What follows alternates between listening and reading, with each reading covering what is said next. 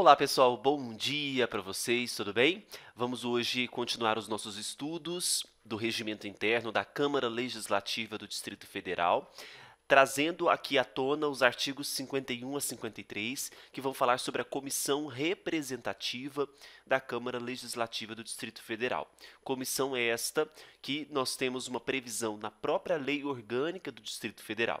Então, antes de adentrarmos no regimento, Vejamos o que, que o artigo 68, parágrafo 5 da Lei Orgânica prevê acerca desta criação de uma comissão representativa. Veja, durante o recesso, haverá uma comissão representativa da Câmara Legislativa com atribuições definidas no regimento interno, nós vamos daqui a pouco ver quais são essas atribuições, cuja composição reproduzirá tanto quanto possível, a proporcionalidade de representação partidária eleita na última sessão ordinária de cada sessão legislativa. Então, essa comissão representativa da Câmara Legislativa do Distrito Federal ela vai existir durante o recesso e ela deverá primar pela proporcionalidade de representação partidária. Aí, sobre a formação desta comissão, o artigo 51 do regimento prevê que, com base nesse artigo 68, parágrafo 5, esta comissão, que funcionará durante o recesso parlamentar, ela será constituída mediante votação ostensiva de um presidente e um suplente de presidente para substituições é, ocasionais, dois membros efetivos e, na mesma quantidade, os titulares. Então, nós teremos aqui quantos membros efetivos? Nós temos um presidente, dois membros efetivos, então três, mais os três suplentes, porque é um suplente de presidente e dois suplentes dos membros efetivos. Ok? Então, nós temos aqui, contando, contabilizando ou com os suplentes, nós temos um, dois, três, quatro, cinco, seis membros na comissão representativa que terá essa atuação durante o recesso parlamentar. Essa comissão representativa, que ela é formada para o recesso parlamentar, será que ela pode ser eleita para períodos distintos no mesmo recesso parlamentar? Poderá.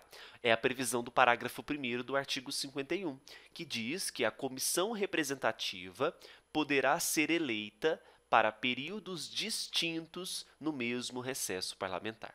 Tá?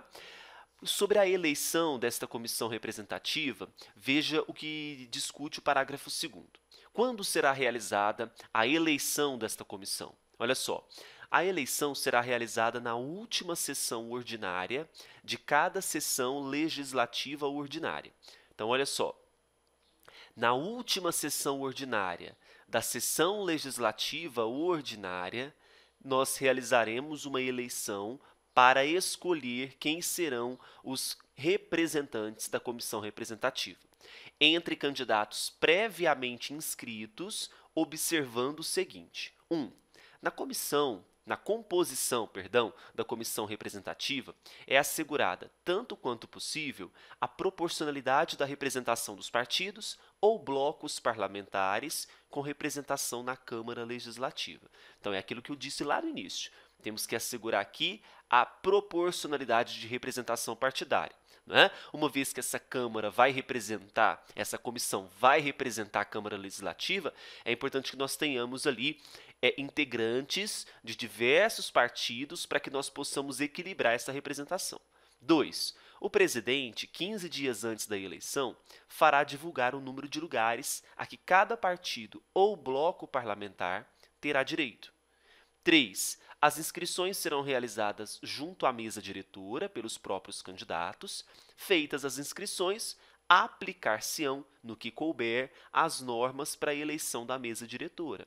Né? Então, para a eleição da comissão representativa, naquilo que for possível, serão asseguradas as normas para a eleição da mesa diretora. Tá bom? Parágrafo 3. Não havendo candidatos inscritos, ou se os inscritos forem em número insuficiente, o presidente da Câmara Legislativa solicitará aos líderes que façam as indicações, sob pena de se aplicar o disposto no artigo 61, parágrafo 1 Aí eu coloquei em vermelhinho aqui para vocês entenderem o que, que prevê esse artigo 61. Então, olha só. Não teve candidatos inscritos. O número foi ou o número foi insuficiente. Os líderes, uma vez que o presidente solicita aos líderes para fazer as indicações e não são feitas, o presidente da Câmara Legislativa então faz o seguinte: opa, ninguém fez? Farei de ofício.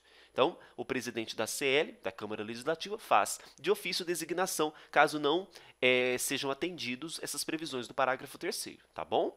Parágrafo 4 a comissão representativa exercerá suas funções no recesso que se seguir a sua eleição e no recesso de julho da sessão legislativa seguinte. Não é? Então perceba que quando que essa comissão vai atuar? Ela vai atuar no recesso que seguir a eleição e também no recesso de julho, para não ser necessária uma outra eleição, uma vez que é só uma vez por ano. Quinto, na ausência de comissão representativa eleita, as competências previstas no 53, que nós vamos ver daqui a pouquinho, são exercidas pela mesa diretora, tá? que são as atribuições colocadas, imbuídas à comissão representativa. Se não houver uma comissão representativa eleita, o que, que vai acontecer? Essas competências são exercidas pela mesa diretora. Artigo 5.2. As reuniões da comissão representativa serão realizadas semanalmente, em dia, horário e local previamente acertados entre os seus membros e de forma extraordinária quando convocadas pelo seu presidente ou pela maioria absoluta dos seus membros efetivos. Né? Então, o critério para a convocação de reuniões extraordinárias segue padrão. Né? Então, nós temos aqui tanto convocado de ofício pelo presidente ou pela maioria absoluta dos seus membros efetivos. Parágrafo único. Os deputados distritais que não integrarem a comissão representativa poderão participar de suas reuniões, porém não terão direito a voto. Então, aqui que o examinador pode colocar para vocês que deputado distrital não integra uma comissão representativa, então ele não pode participar das reuniões, claro que pode. O que ele não vai ter é direito a voto. Né? E por fim, aquelas competências da comissão representativa. Quais são elas?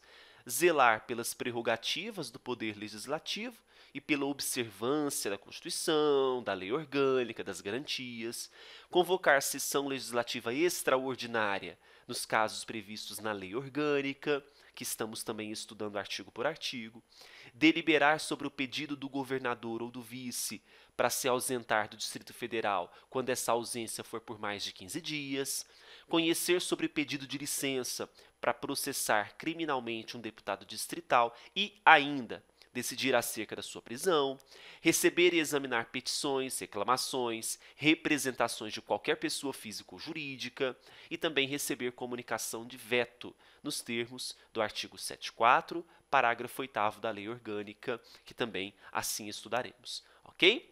Havendo convocação da sessão legislativa extraordinária, lembra que nós falamos? Ou pelo presidente ou por maioria absoluta, suspendem-se as atribuições da comissão representativa. Tá? Então, se houver convocação de sessão legislativa extraordinária, as atribuições da comissão representativa estão suspensas, até que se encerre o fundamento que se deu para a convocação da sessão legislativa extraordinária. Tá certo? Fechamos o assunto comissão representativa. Se dirija ao site eleitoralcombruno.com.br e adquira já o nosso curso de 170 questões comentadas inéditas do regimento interno e também da lei orgânica do Distrito Federal. Desejo a todos bons estudos e até breve.